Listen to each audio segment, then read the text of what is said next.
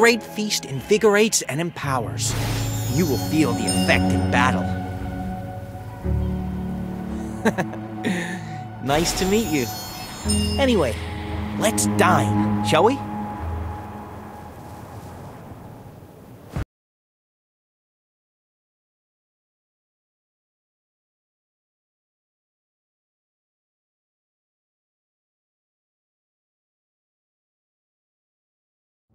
I went to Dugu Lingha's hut back then.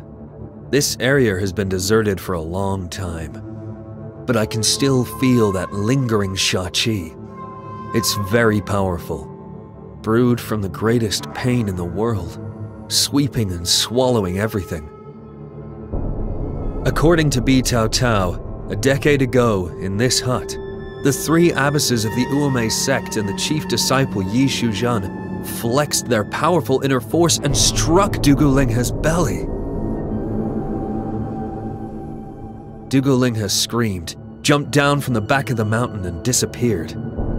It turns out that over the past decade, she has been not far from Uomei, but missed her baby in the days and nights she spent in the mountains, waiting for a chance to destroy the sect. She must have met the initiator of the new Shachi mod by chance and ultimately got what she wanted. Was that tragedy caused by Sha Qi Mod?